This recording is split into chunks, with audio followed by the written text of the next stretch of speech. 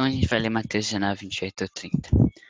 Jesus aber sprach zu ihnen, wahrlich sage euch, ihr, die ihr mir nachgefolgt seid, auch ihr werdet in der Wiedergeburt, Wiedergeburt, wenn der Sohn des Menschen sitzen wird auf seinem Throne der Herrlichkeit auf zwölf Thronen sitzen und richten die zwölf Stämme, Stämme Israels und eine jeder, der ihn verlassen hat, Häuser oder Brüder oder Schwestern oder Vater oder Mutter oder Weib oder Kinder oder Eker um meines, Na um meines Namens willen wird hinterfältig empfangen und ewiges Leben erben.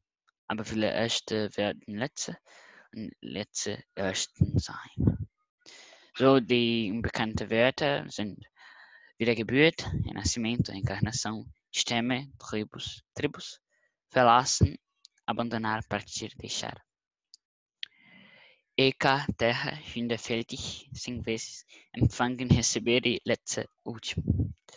Jesus, porém, disse a eles: Verdadeiramente eu vos digo, a vocês que me seguem, e a minha, que é a vocês que me seguem, ao também eu, também serão vocês no filho que morro no renascimento, quando o filho do homem sentar no trono com seu senhorio e os doze tronos se sentarem e auf zwölf Thronen sitzen.